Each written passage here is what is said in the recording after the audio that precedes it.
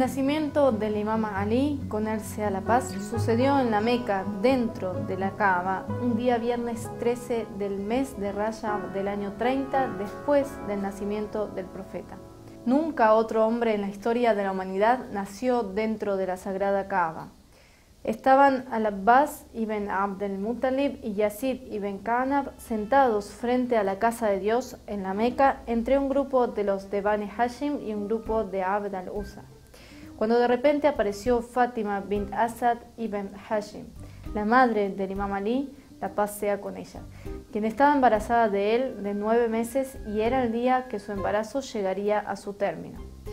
Se paró frente a la cama mientras le aquejaban los dolores de parto y dirigiendo sus manos al cielo dijo, Oh Señor, creo en ti y en todo lo que trajo de tu parte el mensajero de Dios en todo profeta de entre tus profetas y en todos los libros que revelaste.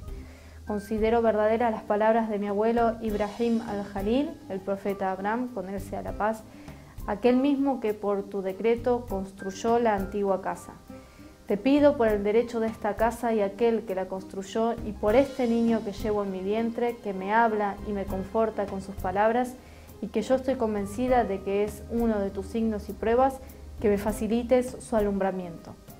Dijeron al-Abbas ibn Abdel Muttalib y Yazid ibn Kanab, cuando Fátima bin Asad habló y suplicó de esta manera, vimos que la parte trasera de la cava se abrió y Fátima ingresó en la casa.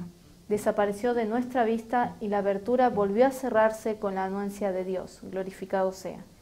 Quisimos abrir la puerta para que algunas de nuestras mujeres lleguen a ella pero la puerta no se abrió, y entonces supimos que había intervenido el designio del Altísimo. Fátima permaneció en la casa, la cava, tres días. Dijo, la gente de la casa hablaba de ello en las bocas de los callejones. Tres días después la casa se abrió en el mismo lugar por el que ella había ingresado y Fátima, sosteniendo a Mir al-Mu'minin en sus brazos, exclamó, Oh gente, Ciertamente que Dios, imponente y majestuoso, me eligió entre su creación y otorgó algo mejor que a las mujeres elegidas que me precedieron. Dios, glorificado sea, me escogió y prefirió sobre ambas y sobre todas las mujeres del universo que vivieron antes que yo, puesto que di a luz en la cava y en la que permanecí tres días comiendo de los frutos y hojas del paraíso.